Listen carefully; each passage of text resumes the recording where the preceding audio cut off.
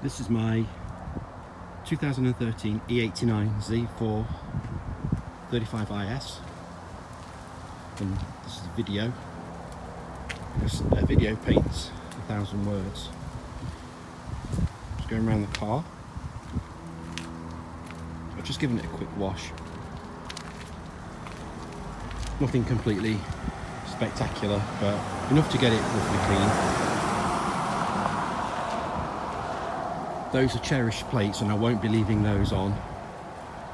I will show you the actual plates that the car came with originally um, separately as I will all the documentation as well. I can do another video of the documentation but I'll only unicast that rather than putting it on YouTube.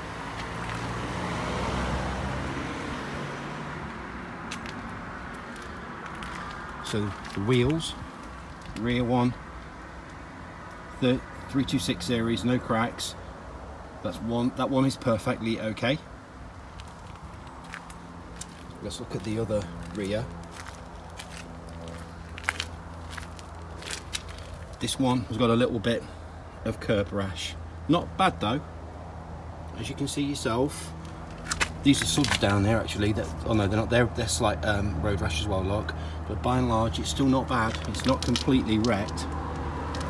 Let's go to the front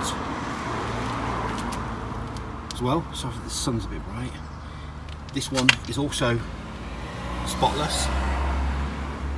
No road rash on that one either.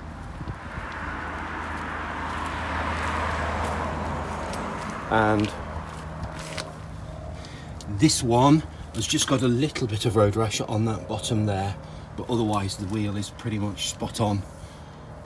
Really nice.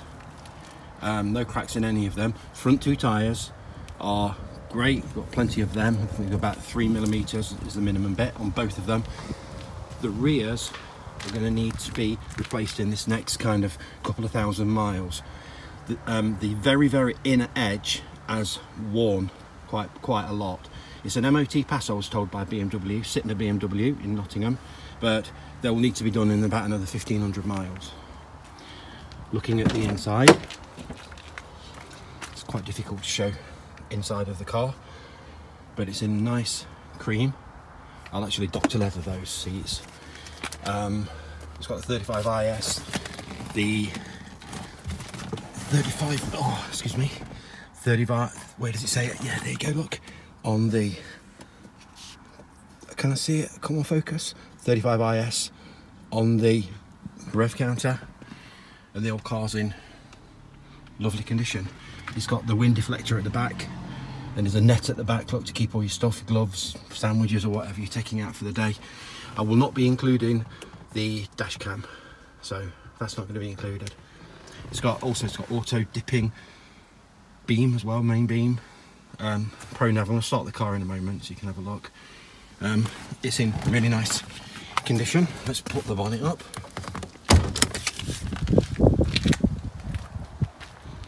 It looks like it's going to rain as well. And this car has never seen a rainy road since my ownership.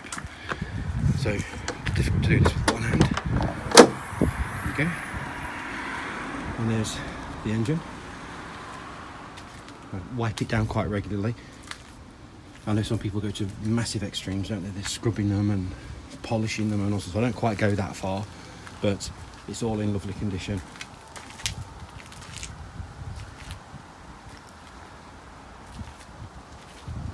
yeah,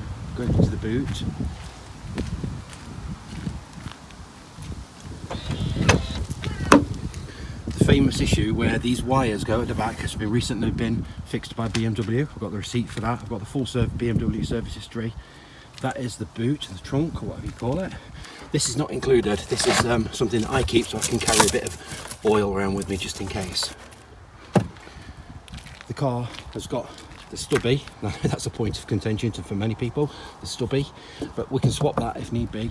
I've already got the original aerial if that's what you want to do. But even with the stubby I get DAB radio no problems whatsoever. And if you want to do the roof you pull this down and put that down.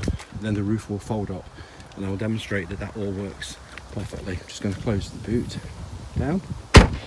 You'll see the soft close latching mechanism up again put it down and you see it pull shot. remember that's just been done recently so that problem is eliminated. Okay so next what I'm going to do is to start her up show you the um, odometer and show you the roof that's all working lovely. Okay this is the roof down and the engine running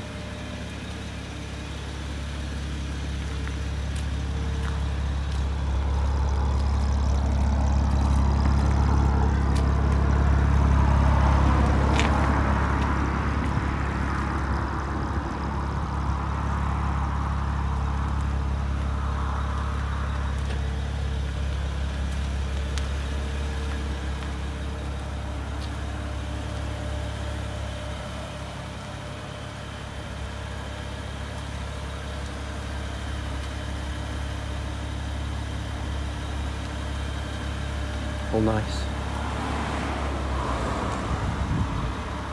Some stinking clouds over there as well, so we'll finish this off and get the car back in the garage. But the garage, all good. But if I look at the boot,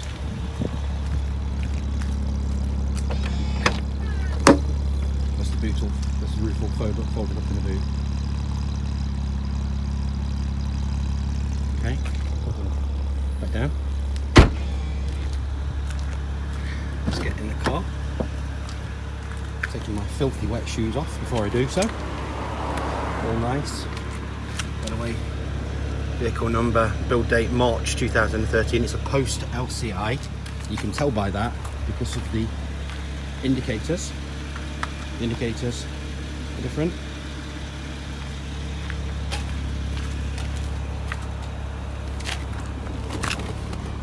And let's put the roof back up.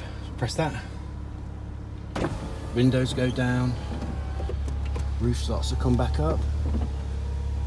And over she comes. Locks down. The other piece of the roof comes goes back over. And then the windows will go back up again. You have to keep your finger pressed on that and that's because I've just washed it all that more. So let's say we wanted to get the roof down again. We press the open button, press and hold it, press and hold, windows go down, boot goes up,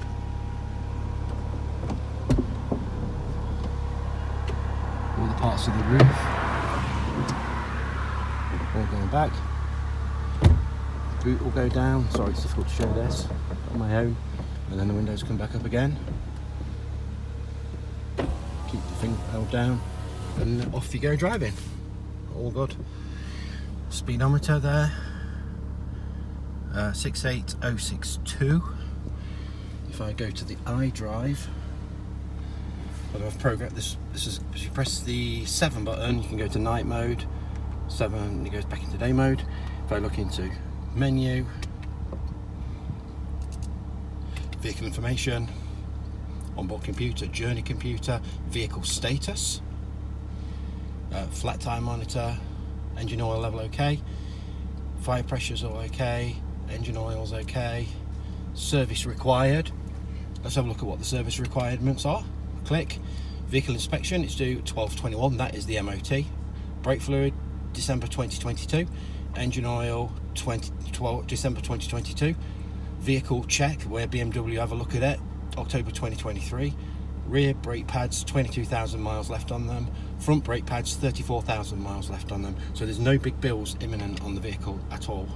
Let's put the roof back again. So I'm going to put the car in the garage now. Uh, garage now. Pre press an old, Close the roof button. You've got to press an old. Doesn't take long. And all the way, because this is a post LCI, it means that you can um, open, operate the roof below 30 miles an hour. I never do that personally, but I know some people do. Down it goes. Up the windows will come. All done. Let's leave the car again. And there's no water there. All the cabin and interior is in good condition. Yeah, Dr. Leather, the seats, uh, some Dr. Leather. Um, there's a couple of very, very minor little marks on the leather. Let's have a show you, because in the interest of being 100%. Get my trendy Crocs back on again. So that could be doing with a bit of a clean up down there. I'll get that done the best I can.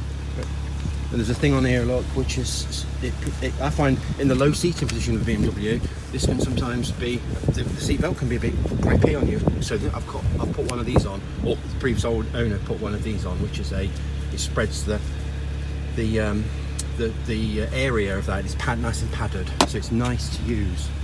And that's it. I hope you found that useful. 10 minute video of the vehicle. That's for the auto dimming there. You can see auto dimming and also the sensors for the rain sensors, intermittent rain sensors. Get off my car leaves. I sell it with very reluctantly. By the way, if you wanted to put the, make these black, costs about 100 quid to buy the original genuine part from BMW. There's videos on the YouTube. I was going to do it myself, but I'm getting rid of the vehicle. If I was keeping this vehicle, I would put non-flats on it, and I'd change those for 437s. That's what a lot of people who keep this car do. That's it. Hope you found that useful, and um, let me know if you've got questions. Okay. Have a great weekend.